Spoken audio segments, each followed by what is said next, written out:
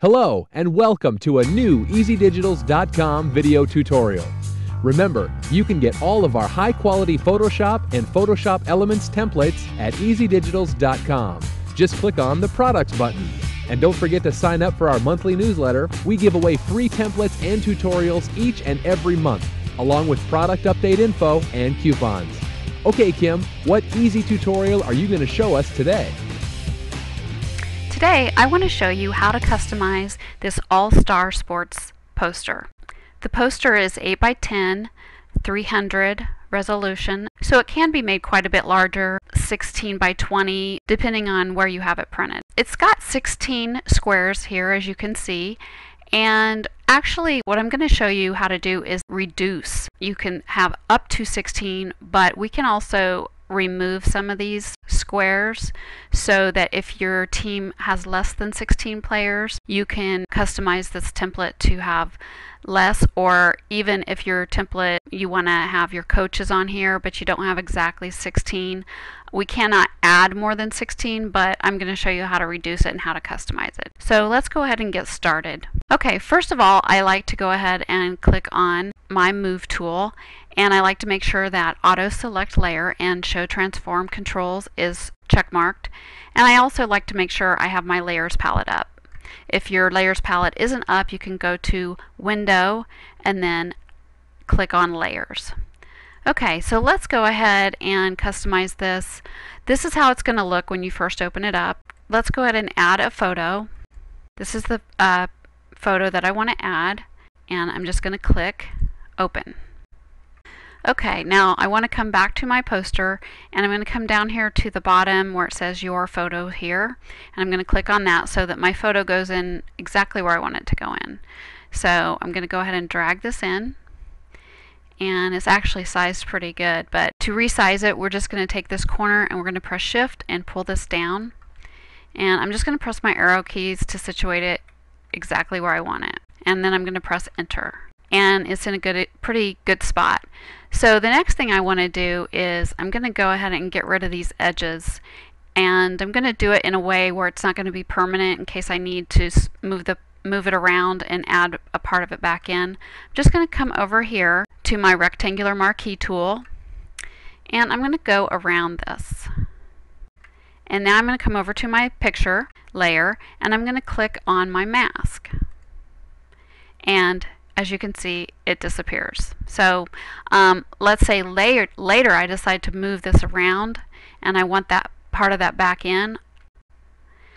What I can do is I can come over to my mask, turn on my brush tool, and as long as white is selected and a hard bristled brush, I'm going to go ahead and press my right bracket to make it larger, I can just add that portion back in because it's still there. Okay, so now I'm going to go to my history and I'm just going to go back to where we were because I don't need to do that. Okay, so now I have my photo in place and I'm just going to customize around it. So let me go ahead and zoom back out. I'm going to press my Alt key.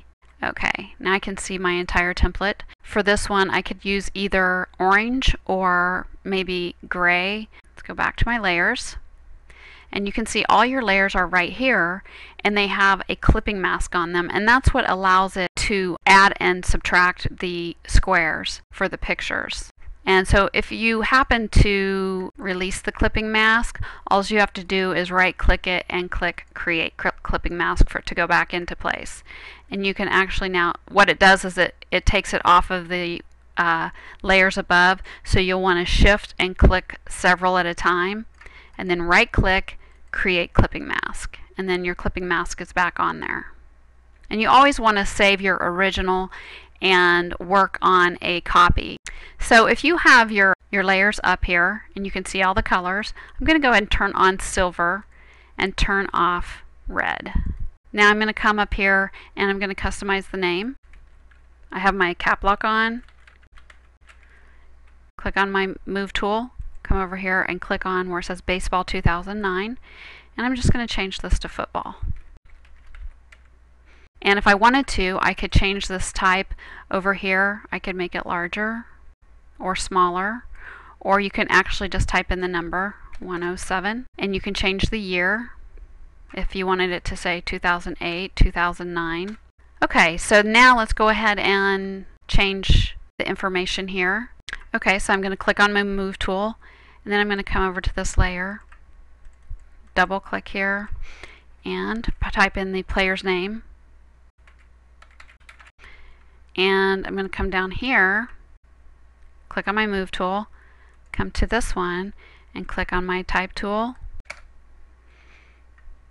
Okay, I can't remember what that number was that he was. Let's go ahead and view it. Alt.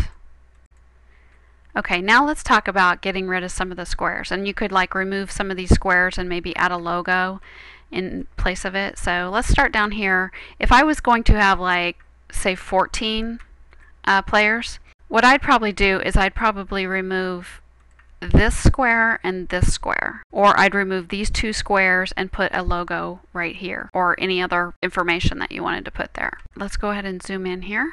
And I'm going to show you how to get rid of this. So we're going to come down to our frames layer. And this is basically, if I turn this off, you'll see that this is just a white frame.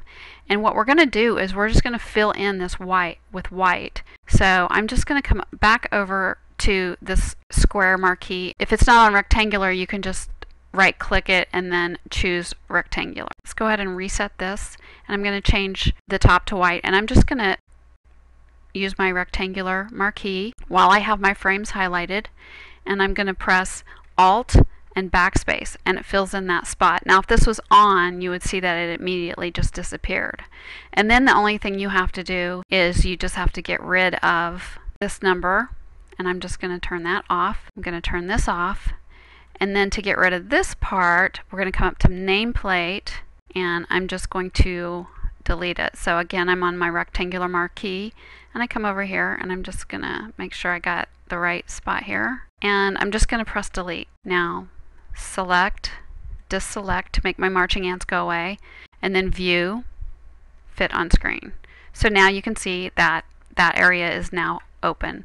And let's say I wanted to put a logo there. If I had a logo for my team, I could just open up my logo and drag it in there and position it. Press shift.